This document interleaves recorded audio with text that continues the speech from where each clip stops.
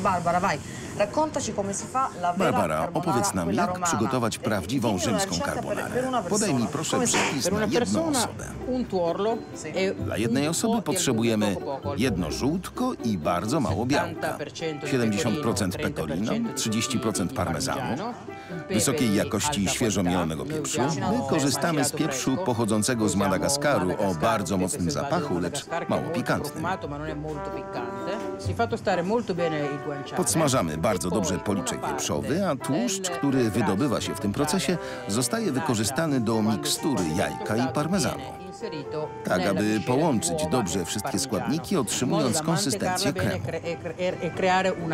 Na końcu dodajemy świeżo startego sera pecorino oraz pieprzu. To wszystko. No to spróbuję. Oto sekret naszej carbonary. Próbujemy.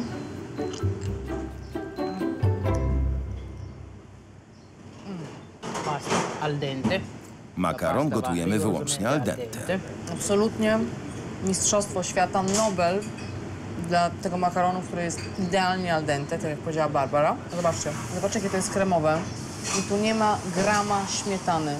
To jest tylko żółtko, pecorino, parmigiano, mm, powiedzmy, że boczek, trochę karczochów. Beviamo, ci Cinne, salute, come si ci- dice in ci- Italia. Wypijmy za to. Na zdrowie.